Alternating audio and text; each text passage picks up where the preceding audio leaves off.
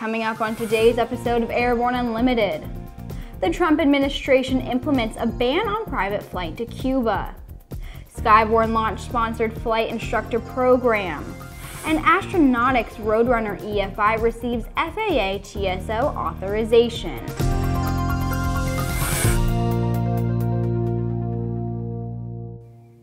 I'm Sophie Hurlock. If you were planning on flying your private airplane to Cuba, you're going to have to make other travel plans, and you may not be able to go at all. The U.S. Treasury Department on Tuesday unveiled amendments to the Cuban Assets Control Regulations to further implement President Trump's foreign policy on Cuba.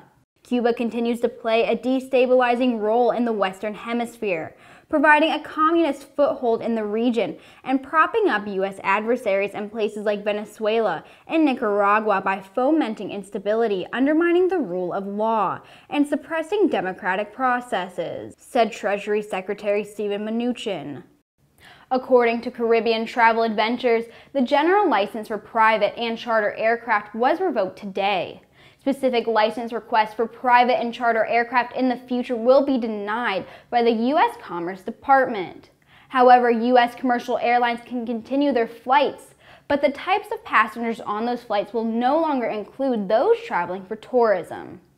We'll be right back with Around the Patch.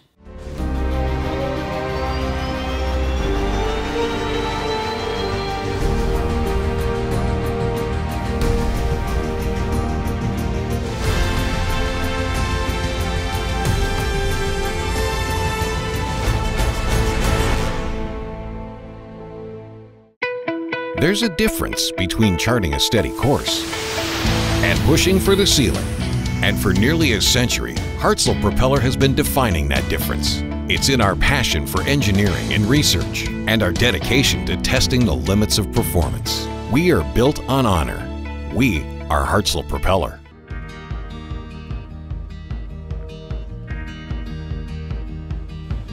Today is a new dawn. With a new name. Un nuevo logotipo a new factor und einem globalen Kundenfokus. We are Continental Aerospace Technologies and we stand behind you.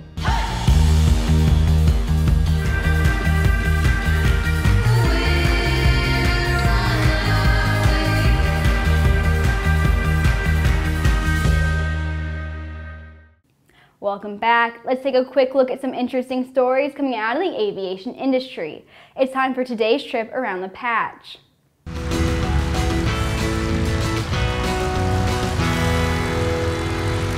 Boeing has informed the FAA certain 737NG and 737 MAX leading edge slat tracks and might not meet applicable regulatory requirements for strength and durability. Following an investigation conducted by Boeing and the FAA Certificate Management Office, the FAA determined up to 148 parts manufactured by a Boeing sub-tier supplier are affected. Pilot Proficiency, a pilot training business providing 24-7 simulator access, has received a Frasca RTD simulator and is now open for business in Lisle, Illinois. Pilots can book simulator time by the hour or by monthly subscription plan for affordable recurrency training. Flight Safety International Embraer E-Jets E2 training program is now approved by the FAA, EASA, and Brazil's National Civil Aviation Agency. The training will be offered at Flight Safety Le Bourget Learning Center in Paris this summer. NASA's James Webb Space Telescope Element successfully completed its last environmental test, thermal vacuum testing at Northrop Grumman Corporation in California. The testing exposes Webb's SCE to the extreme hot and cold temperatures it will experience in space. To test this, the chamber uses liquid nitrogen shrouds and heater panels to expose the SCE to cold temperatures as low as negative 300 degrees Fahrenheit and hot temperatures as high as 220 degrees Fahrenheit. We'll be right back with the rest of the news. Sandia introduces the new SAI 340 Quattro TSO'd airspeed, attitude, altitude, and slip. With integral backup battery, safety never looked so good. See it now at www.sandia.aero. Build and fly with the most exciting line of kit aircraft on the market, the Sonex Aircraft B models. The B models offer more room and comfort, more fuel, more panel space, more engine choices, and the same great Sonex aircraft flight characteristics. Learn more at sonexaircraft.com. Skyborne Airline Academy is launching a sponsored flight instructor program to foster the next generation of airline pilot instructors in Spain. Over a six-week period, participants will complete 35 flying hours and 130 hours of theory training. Those who successfully complete the program will go on to work as single-engine flight instructors with Skyborne. Skyborne will offer a competitive salary and bonus pack, including generous annual leave, pension, bonus scheme, and health insurance. In order to apply, candidates must hold a current first series EASA commercial pilot license, including instrument rating and a Class 1 medical certificate.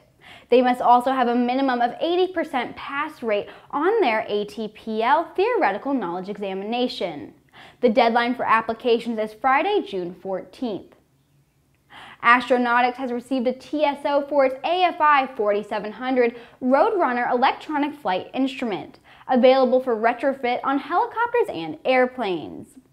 The Roadrunner EFI is a drop-in primary flight display replacement for older EFIs, or electromechanical instruments and allowing upgrades from existing attitude director and horizontal situational indicator functionality to modern electronic flight instruments supporting enhanced safety features and improved reliability. The new Roadrunner EFI also provides easy integration with modern navigation equipment, enabling capabilities like localizer performance with vertical guidance approaches. The EFI provides operators with readability in all lighting conditions, reduces operating and maintenance costs, and minimal downtime for installation. The EFI is easily upgradable with new software functionality tailored to meet customer needs and mission requirements. And that's our last story of the day, everyone. Thanks for watching. Don't forget to hit subscribe and to check us out on Twitter and on Facebook. And if you're looking for the latest aviation and aerospace news, head over to aero-news.net. I'll see you right back here tomorrow for an episode of AMA Drone Report.